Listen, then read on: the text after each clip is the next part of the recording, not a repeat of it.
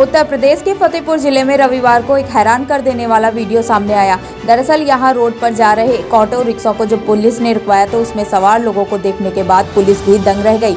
दरअसल, auto rickshaw में चालक सहित 27 लोग सवार थे।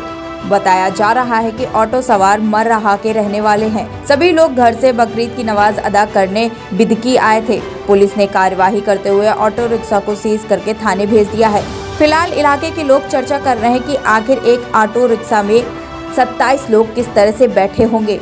तो वही मामला कोतवाली बितकी के ललौरी चौराहे का है। जानकारी के मुताबिक यूपी के फतेहपुर ज़िले के बितकी कोतवाली क्षेत्र में कुछ लोग एक ऑटो रिक्शा में सवार होकर निकले थे।